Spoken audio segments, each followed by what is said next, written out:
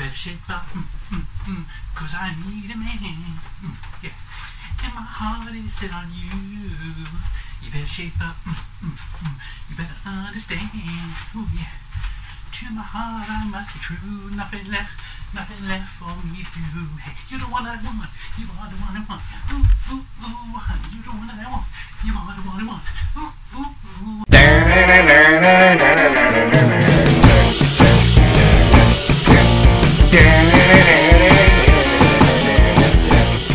One and all, and welcome once again to Tom's Hit Parade. Yes, if you can believe it, it's time for another Backtracks already. I don't know how the months have been whizzing by so darn fast. It's just crazy, especially this year, it seems. Uh, but there's nothing you can do to stop it, right? Time marches on, as they say. But anyway, uh, yes, Backtracks is my monthly roundup of notable album anniversaries divisible by five, as well as at least one spotlight album review. So let's just march right on in, shall we, and see which albums are celebrating anniversaries for the month of October 2019. 60 years ago this month, Ornette Coleman released The Shape of Jazz to Come. It was his third album and his first on the Atlantic label. It was also his first album with his quartet players of Don Cherry on trumpet, Charlie Haden on bass, and Billy Higgins on drums. This quartet was notable for not featuring a chordal instrument such as a piano or a guitar, and Coleman himself was notable for playing a plastic saxophone. This early free jazz album was a landmark and is included on the Rolling Stone magazine's list of the 500 greatest albums of all time and was inducted into the Grammy Hall of Fame in 2015. However, major jazz luminaries of the time, Miles Davis and Charles Mingus among them, were not fans of the album at first. Also released in October of 1959 was Chet Atkins' 11th album, Mr. Guitar. It included versions of standards such as Show Me the Way to Go Home, I'm Forever Blowing Bubbles, and even a Tchaikovsky piano concerto. It also features his modest hit song Country Gentleman, co-written by Boudleaux Bryant. That song and the album's title both became nicknames for Atkins for the rest of his life and career. October of 1964 saw the release of The Kinks' self-titled debut album. It includes the smash hit single You Really Got Me and five other original tunes, with the rest of the album comprised of covers of rock and blues tunes like Chuck Berry's Beautiful Delilah, Bo Diddley's Cadillac, and Slim Harpo's Got Love If You Want It. Led Zeppelin's Jimmy Page played acoustic guitar on two of the album's tracks. For its US release, the album was shortened by three songs and retitled You Really Got Me. Also celebrating its 55th anniversary this month is Simon and Garfunkel's debut album, Wednesday Morning 3 a.m. It featured renditions of Bob Dylan's The Times They Are Changin' and the traditional hymn Go Tell It on the Mountain. But the most popular song on the album was, of course, The Sounds of Silence. The album was originally a flop, causing the duo to go their separate ways. Simon moved to London and Garfunkel re-enrolled at Columbia University until the following summer, when the growing radio popularity of Sounds of Silence belatedly kick-started their careers. The single eventually hit number one on the Billboard Hot 100 in January of 1966, and the album peaked at number 30 on the Billboard 200 in February of 1966, more than a year after their original release. Half a century ago, King Crimson released their debut album In the Court of the Crimson King. It peaked at number 28 on the Billboard 200, number 27 in Canada, and number 5 in the UK. Initial reviews of the album were decidedly mixed. One esteemed critic called it ersatz shit, but it's now regarded as a prog rock classic. Rolling Stone declared it the second greatest prog rock album of all time, behind Pink Floyd's Dark Side of the Moon. One not so trivial trivia note Technical problems during mixing and misplacement of the original masters forced all subsequent issues of the album to be made from lesser quality second generation copies until the masters were finally unearthed in 2003.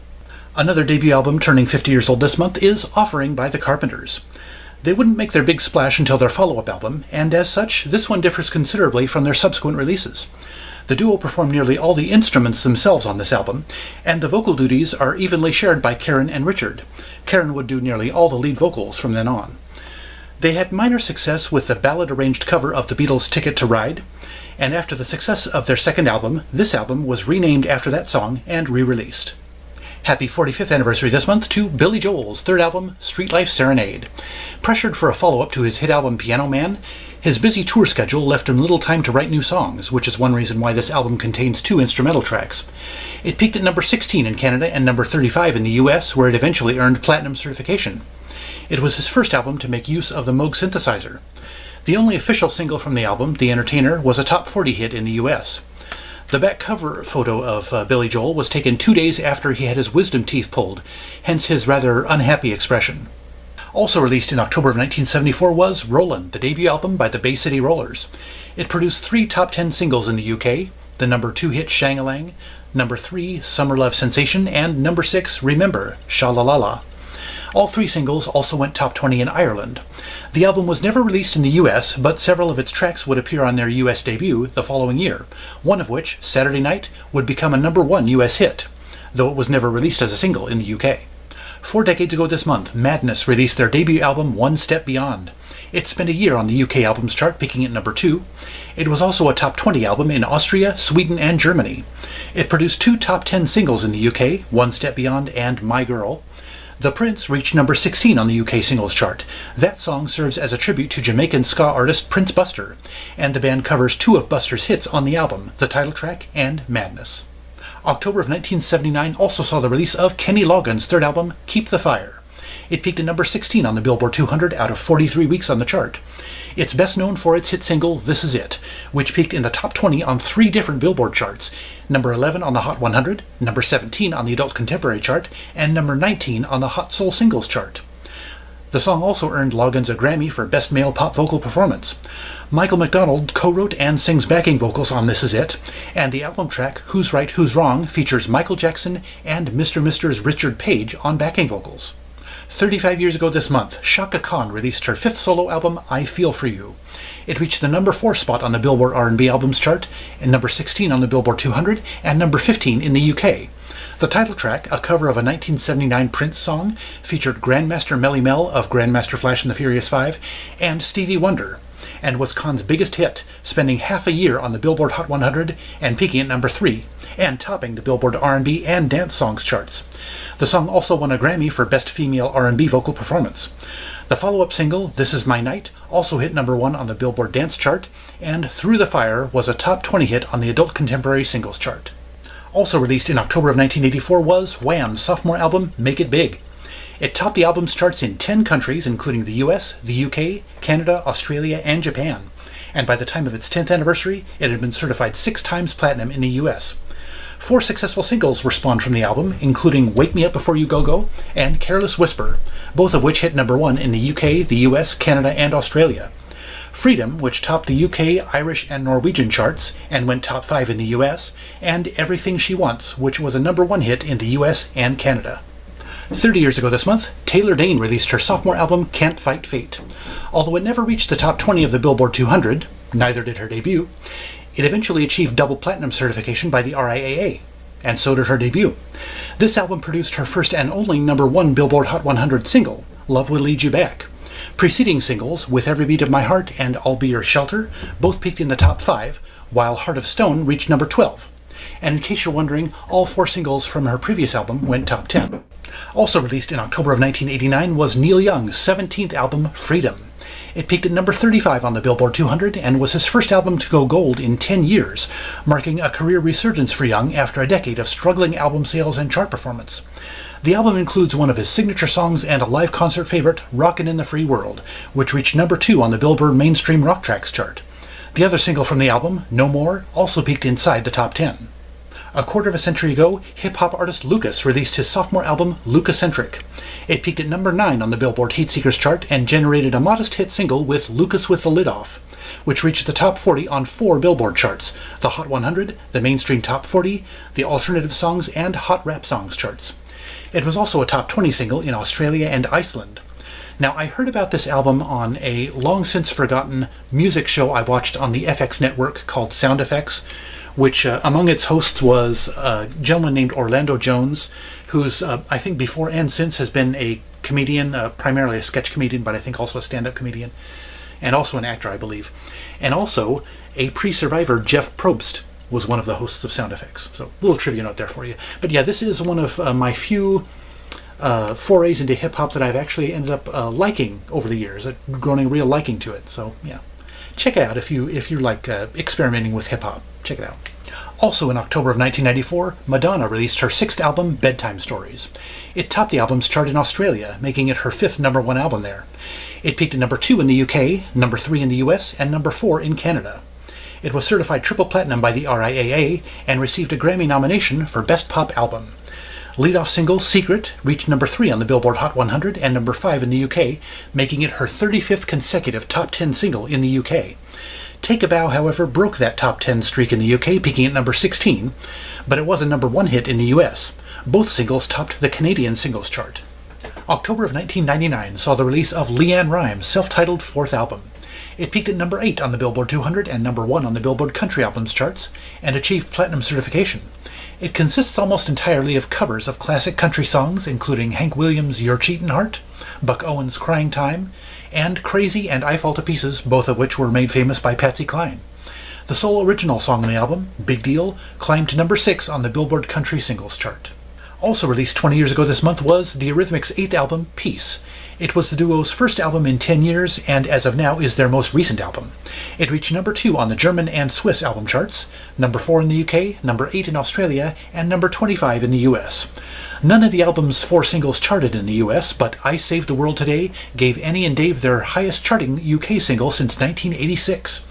The follow up single, 17 Again, peaked in the UK top 40. 15 years ago this month, James Blunt released his debut album, Back to Bedlam. It was a number one album in 15 countries, including the UK, New Zealand, Canada, and Australia, and it peaked at number two in five countries, including the Netherlands, France, and the US. But it didn't achieve that success for seven months, not until You're Beautiful was released as a single. It topped the charts in 10 countries, including the US, where it remains his only top 40 single. And it went to the top 10 in nine others. Follow-up single Goodbye My Lover was a top 10 single in the UK, Australia, and Canada. The album went on to become the best-selling album of the 2000s in the UK. The title, by the way, refers to the nickname of the Bethlehem Royal Psychiatric Hospital. October of 2004 also saw the release of Astronaut, Duran Duran's 11th album. It is their first and thus far only album since 1983's Seven and the Ragged Tiger to feature the classic five-man lineup of the band. It achieved its highest charting in Italy, where it peaked at number 2, it also peaked at number 3 in the UK, number 9 in Canada, and number 17 in the US. To date, its only sales certification is gold status in the UK. Its only charting single in the US was Reach Up for the Sunrise, which unfortunately lingered at number 89 on the Billboard Hot 100. An unjustifiably low, in my opinion. But it reached number 5 on the UK singles chart and was a top 10 hit in Italy and Scotland. Follow up single What Happens Tomorrow hit number 2 in Italy and was a top 20 hit in the UK and Scotland. Happy 10th anniversary this month to Train's fifth album, Save Me San Francisco. It peaked at number 17 on the Billboard 200, making it the band's first album since their debut not to reach the top 10. It performed well in Australia, though, peaking at number 8, and in the Netherlands, where it was a top 20 album. It was bolstered by the runaway success, Runaway Train, get it? Of the hit single Hey Soul Sister, which hit the top 10 in 16 countries, including number 1 in Australia, number 2 in New Zealand, and number 3 in the US and Canada. Follow up single If It's Love was a top 40 hit in the US, Australia, and New Zealand. Also released in October of 2009 was Michael Bublé's sixth album, Crazy Love. It spent its first two weeks on the Billboard 200 chart at number one and stayed on the chart for more than a year and a half. It spent six non-consecutive weeks at the top of the Australian albums chart and was also a number one album in the UK and Bublé's native Canada. Producers on the album include David Foster, Humberto Gatica, and Bob Rock. The title track is a cover of the Van Morrison hit. The album also includes versions of Georgia on My Mind, Stardust, and the Eagles' Heartache Tonight, as well as the original song Haven't Met You Yet, which was a number one hit on the Billboard Adult Contemporary chart and was the first song ever to debut at number one on the Canadian Adult Contemporary chart. It also won a Juno Award for Single of the Year and got a Grammy nomination for Best Male Pop Vocal Performance. The album won the Grammy for Best Traditional Pop Vocal Album. October of 2014 saw the release of Jessie J's third album, Sweet Talker. It reached the number 10 spot on the Billboard 200, making it her first top 10 album in the US. It spent four weeks in the top 40 of the UK albums chart, peaking at number 5 and was a top 20 album in 12 other countries. Lead single Bang Bang, featuring Ariana Grande and Nicki Minaj, climbed to number 3 on the Billboard Hot 100. It topped the UK singles chart and was a top 10 single in 12 other countries. It also received a Grammy nomination for Best Pop Duo Group or Group Performance. It also served as the third single on Ariana Grande's sophomore album, My Everything. The hip hop group De La Soul and violinist Lindsey Stirling also feature on the album. Also released five years ago this month was Taylor Swift's fifth album, 1989. It sold 1 million copies in its first week, making it the only album to, in 2014 to pass that mark, but also making Taylor Swift the first artist to do so with three of their albums, that is, selling 1 million copies in their first week of release. Uh, as far as its performance on the Billboard 200, well, it spent its first three weeks and five of its first six weeks at number one out of 11 non consecutive weeks at the top spot. It's only the fourth album since the year 2000 to do that, by the way. Also, it's only the fifth album in chart history to not drop out of the top 10 for an entire year. And as of the time I was preparing these notes, it spent 253 weeks on the Billboard 200, which basically means it's pretty much never left that chart. Oh, and by the way, as if all that weren't enough, it also won the Grammy for Album of the Year. Okay, now let's get to the spotlight albums, the main event as it were. Uh, I've got two albums for you this month. Well, in a way, I've got three because one of them is a double album. But okay, let's just say it for what it is. It's two albums, okay. I admit it. Uh, uh, but there, uh, one of them is a fairly big album. It's the double album that I'll be mentioning uh, in a minute here. And I'm, I was kind of glad. I'd really been wanting to get a big anniversary album for Backtracks for you uh, in the last few months because it feels like most of this year I've kind of been skimping on and you know just going settling for the lesser known anniversary albums. Uh, but of course, part of it happens to be that it depends on what's available at the local stores and how much money I've got.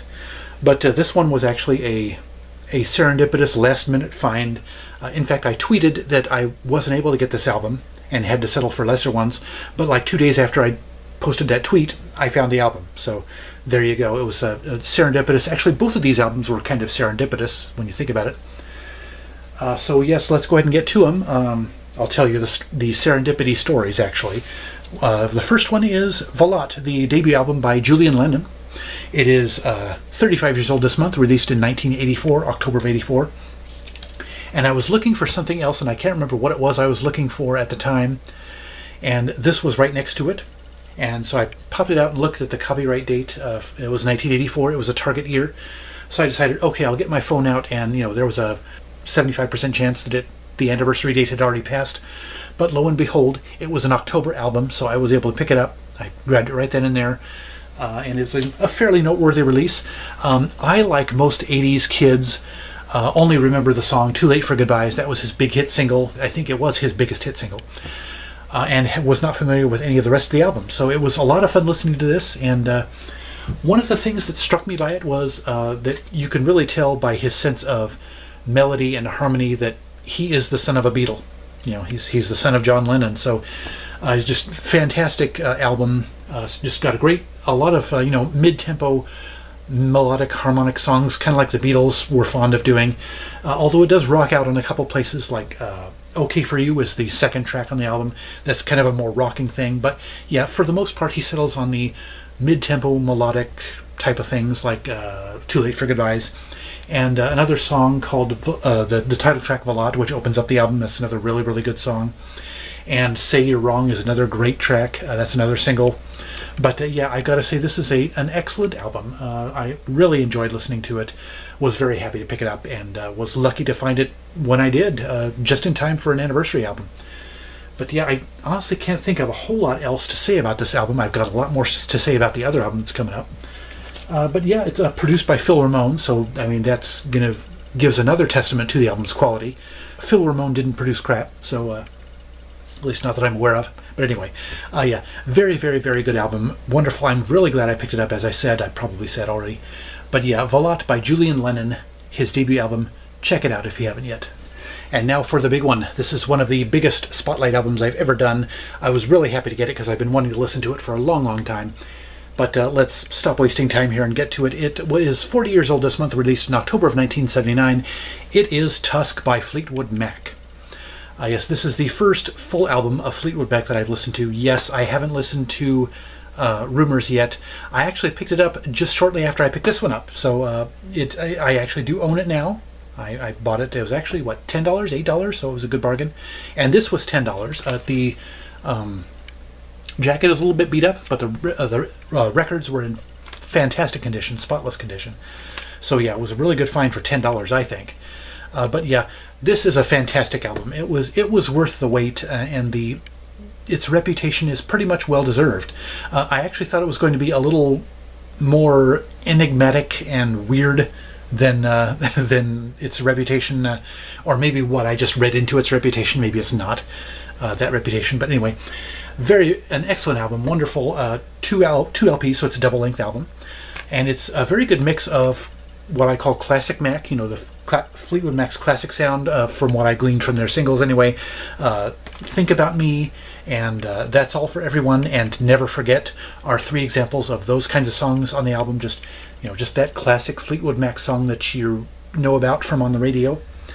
And then there's some some softer, delicate tracks, which I hear was uh, um, one of the major. I, was it Stevie Nicks that uh, wanted to take that direction on the album? I think I, I, read about. I read up on it, but I can't remember exactly. But uh, yeah, over and over, and Storms and Walk a Thin Line are three of the superb examples of the slower, softer, del- more delicate tracks on there.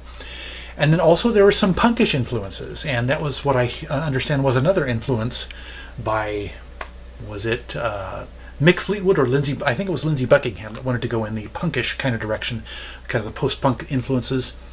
A few songs of that ilk on here, The Ledge, and uh, Not That Funny, and That's Enough for Me, and I really, really enjoyed those songs. And I'm not a punk guy, so, but uh, yeah, just those Fleetwood Mac's take on punk, I guess, was really good. It kind of turned me on.